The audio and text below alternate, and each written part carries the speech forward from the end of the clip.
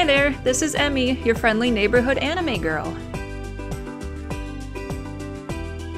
Oh, by the way, guess what day it is? It's Friday!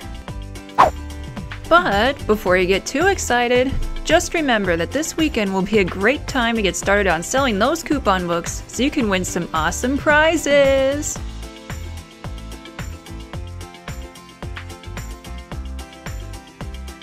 And if the entire school earns $16,000, you all get to duct tape the principal to the wall. Now get out there, be safe, and make it happen. Have a great weekend!